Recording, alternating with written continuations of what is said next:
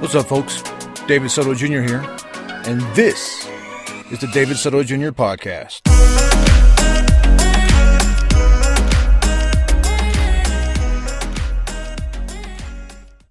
What's up, folks? Welcome to episode 16 of the David Soto Jr. podcast. I am your host, David Soto Jr., and it is weird spring here. The weather, currently I'm in Colorado Springs, but it doesn't matter. All of Colorado is just weird right now with the weather.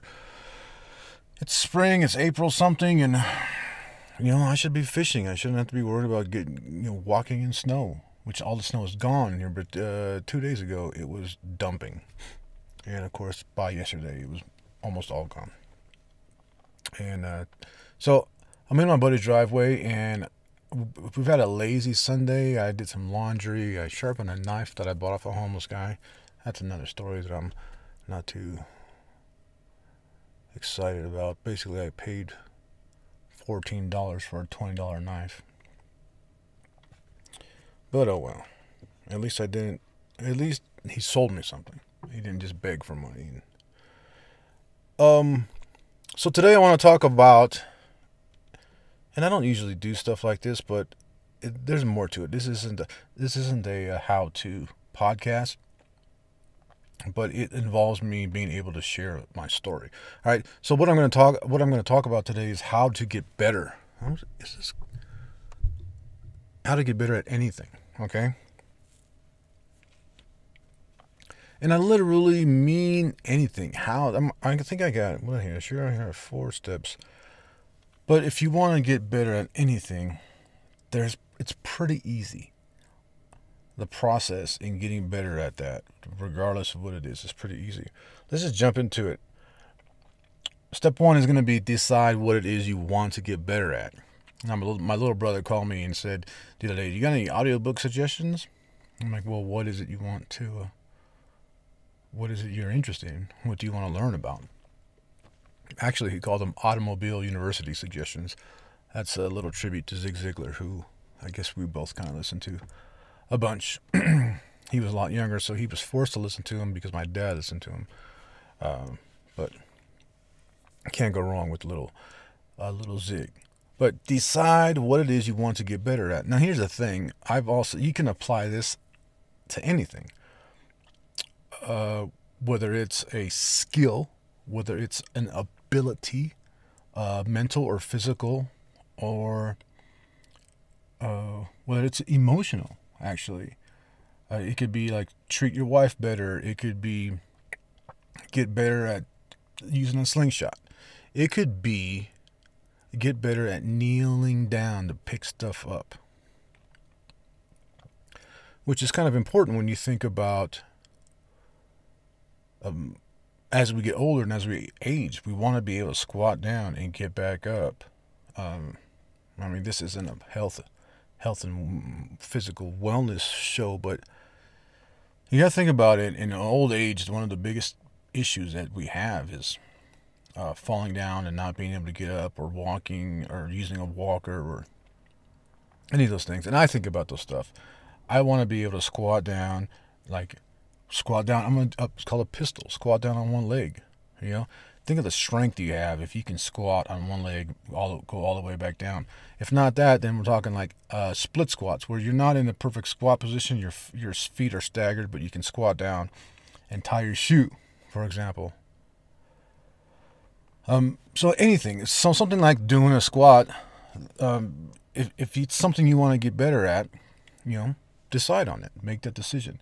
Uh, it could, but literally it could be anything. If you're a guitar player, if you're a real estate agent, whatever the case is, if you want to get better at something, there's a process to do it. But first, you have to pick that thing that you want to get better at.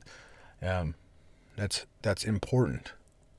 And I have an example of something where I was talking about.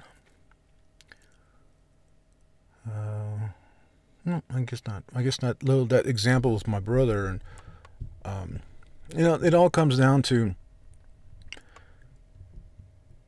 kind of deciding what it is you want to it doesn't have to be but it can be like deciding what it is you want to be when, when you grow up or what it is you want to to do uh, for me i didn't know until i was 41 i guess that I wanted to start writing fiction. So I never wrote fiction until this point, and I started writing it, and it was terrible. I kind of started writing a little bit earlier, but pretty much at the age of 40, I'm trying to 40, 41. I'm trying to write fiction for the first time in my life, and it it doesn't go well, or even if it does go well. So my first book, um, Los Chocolates,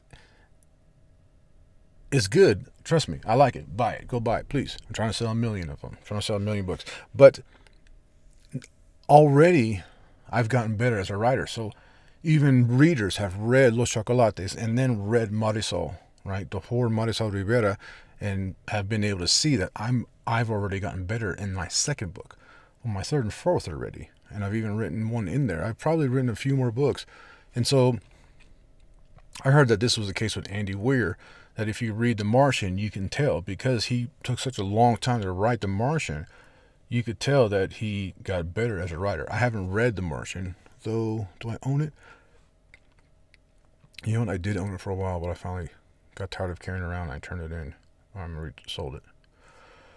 Uh, but for me, I want to get better as a writer. Now that I've realized it, I've made made the decision, and I want to get better as a author and a nonfiction writer. That's my personal um, decision of what I want to get better at. One of them, anyways. So you make your decision. Step two is to do it. Now I know this sounds counterintuitive. Is that the word? Well, how do you know how to do it if you don't know? If you don't take any instruction, right? Which obviously is what th- number three is get instruction. But I gotta tell you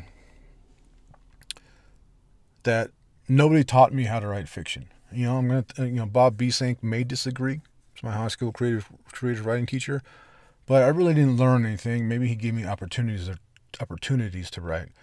But I just basically started writing. And writing and writing and writing and writing and every day. And it wasn't always fiction, but when it got to fiction, I just I just kept going. I kept going and I had a lot of experience writing nonfiction. But I'm somewhere around 39, 38 I started writing articles right, from my blog. I started blogging. And kind of when I got to fiction, I had already a couple years of experience. Now, I wish I had identified, all right, what I like to do, creative writing, as a child. And that way I had I would have 30 plus years of creative writing experience of repetition, not two. Uh, but why? What? Just do it. Repetition is the key to effective learning get better at it. You've heard practice makes perfect. It is true. Some people say perfect practice makes perfect, but whatever.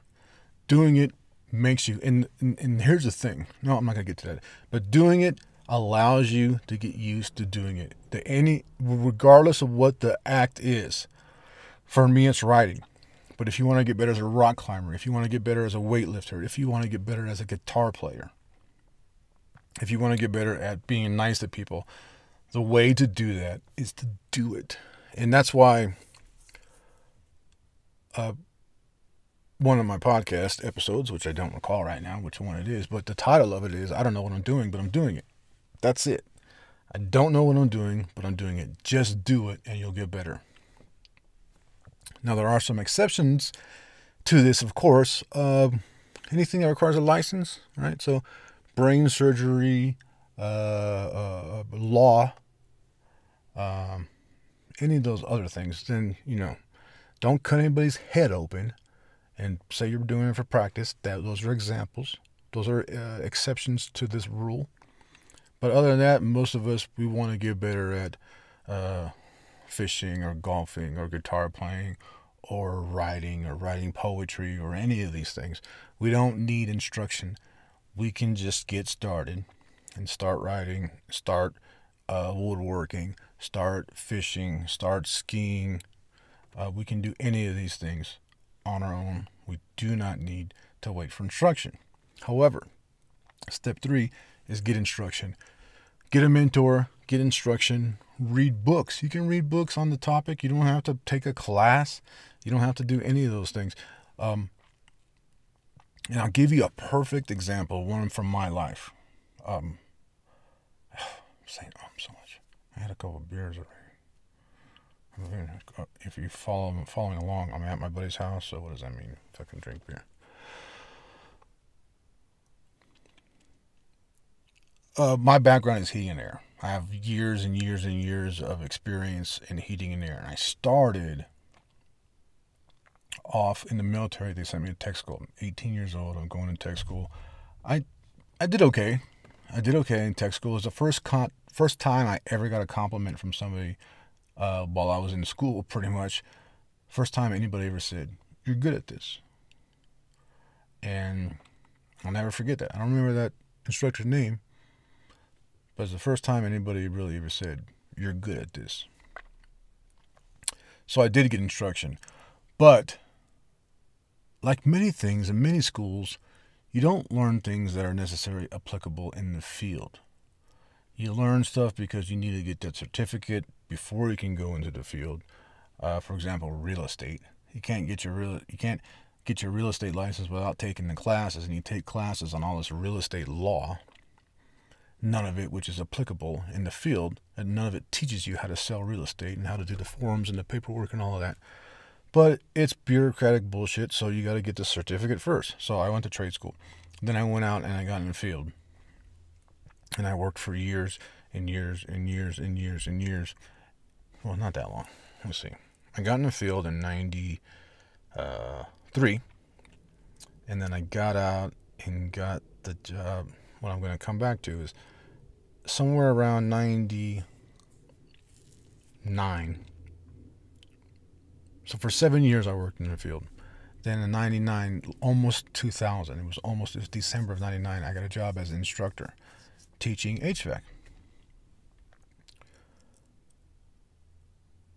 Now, what I ended up having to do while I taught as an instructor is I had to learn the material, and I learned so much because I had years of experience and I could relate to all these things that I was reading in the book all these things that I was telling to my students, I, I one thing I loved about being an instructor was looking out into into the classroom and seeing those light bulbs go off, where I know that I've reached a student, that what I'm trying to relate to them uh, is happening.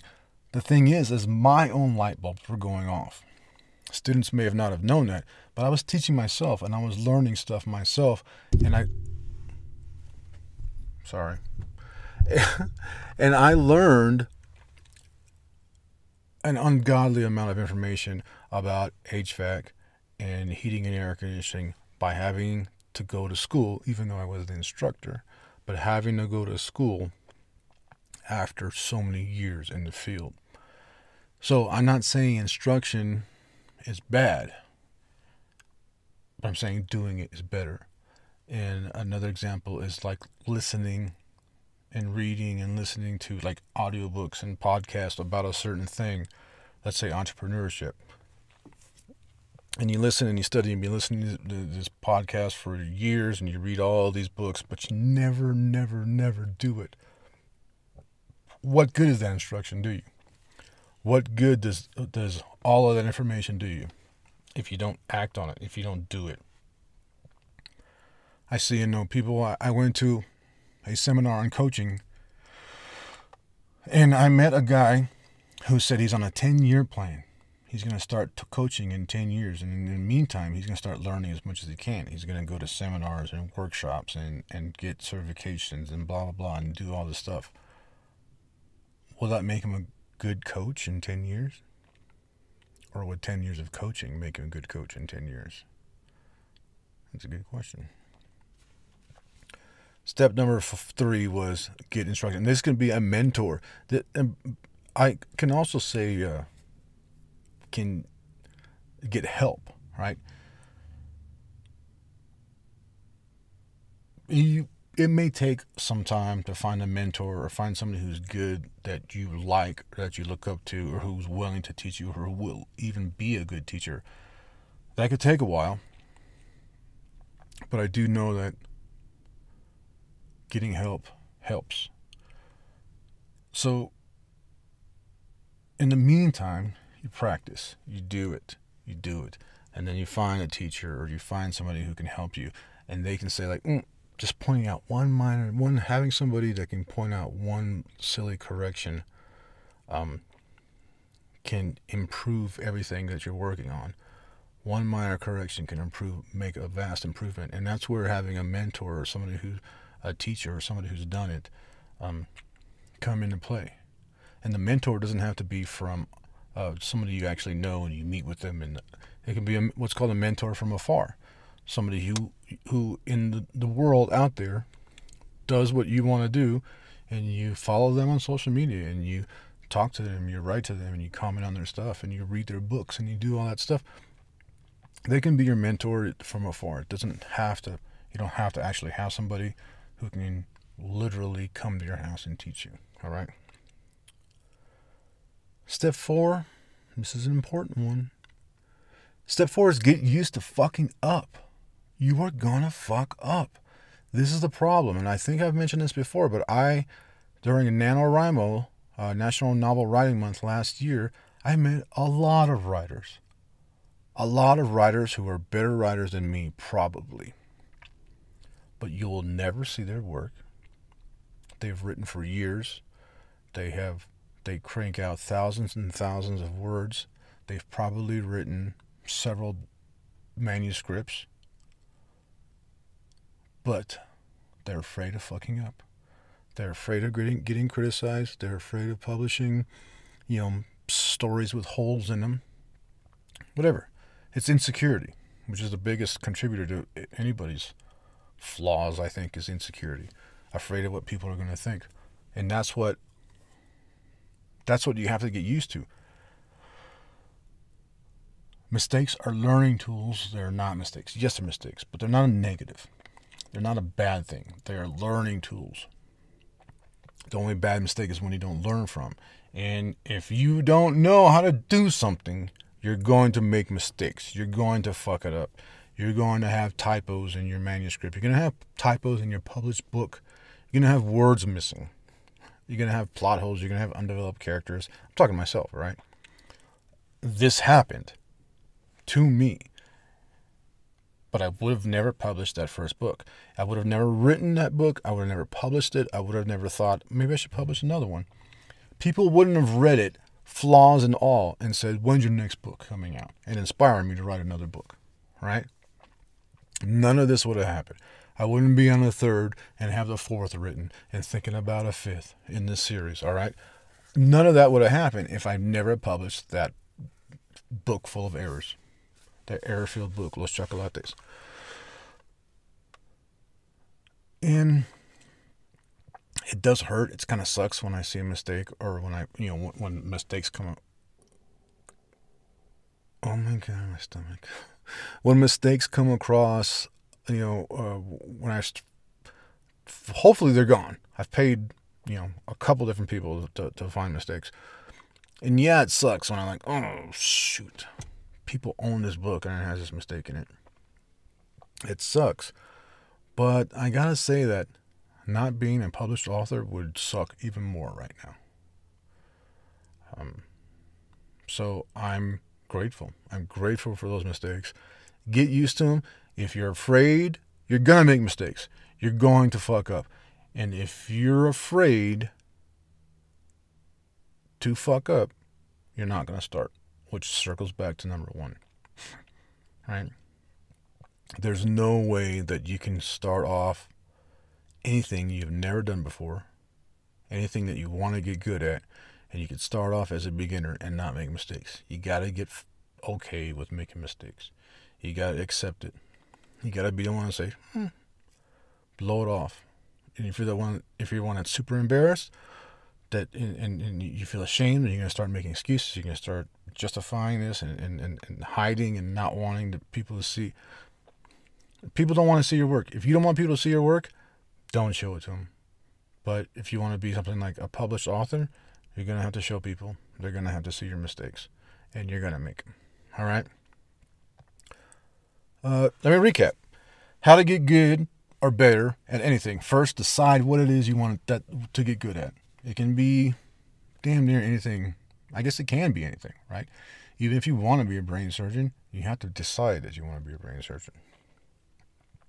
Step two is once you decide what it is you want to get good at, start doing it. You want to be a stand up comedian? Start telling jokes, motherfucker. Right? Don't read books. Don't take a comedy class. In fact, Jerry Seinfeld had to went to speak at a comedy class once one one I don't know, one time or what. But his response was what he said is like the fact that you all are here should be enough to let you know that you are no good at this.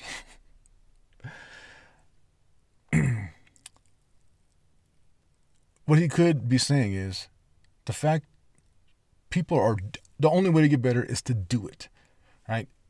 He could be saying you're not funny. But the only way to get good at anything is to do it. And um,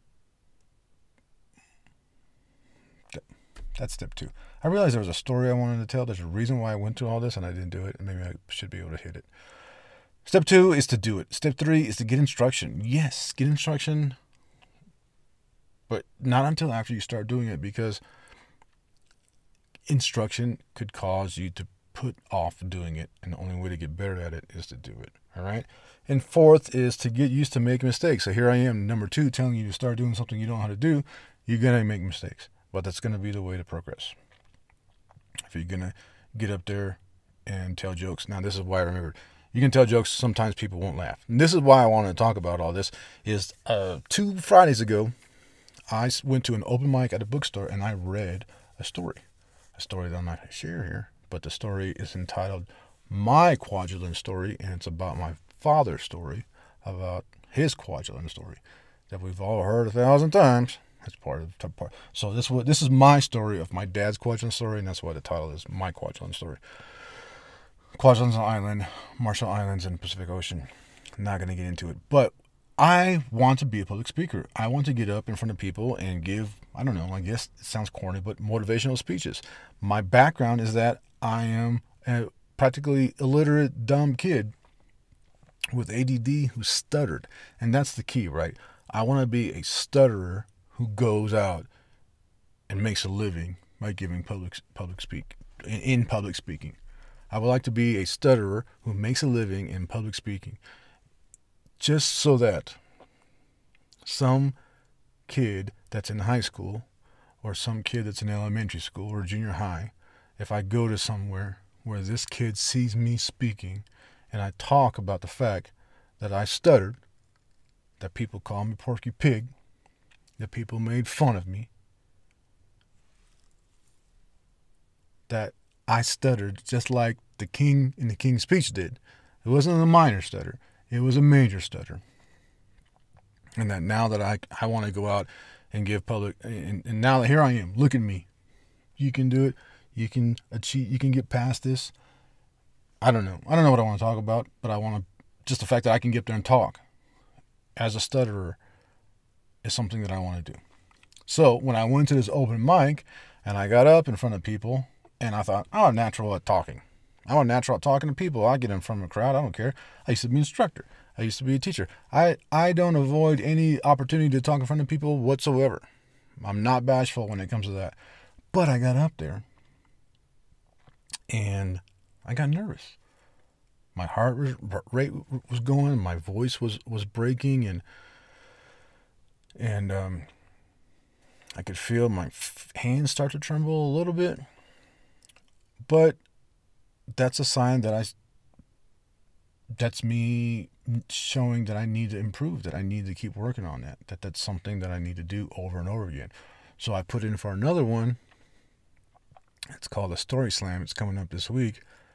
I have to put my name in a hat. Maybe my name will get drawn, maybe it won't, but I'm going to get up there and I'm going to tell a story.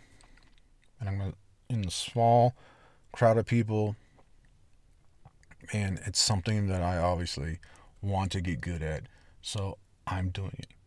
And I'm doing it and I'll get feedback, see what people think.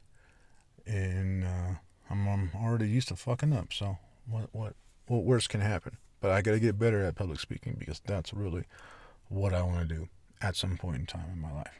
All right, folks. That's it. I hope this was helpful. I appreciate you tuning in. You can follow me on Twitter at David E. Soto Jr on Instagram at David E. Soto Jr. And my website. I don't even know what my stupid ass website. I got an email list. Nobody signs up for. I send emails. Nobody. I don't. Even, I hate my email list. So I'm gonna stop talking about. It. find me on Twitter. Find me on Instagram. You can DM me. You can at at message me. I'll respond to you. I enjoy it.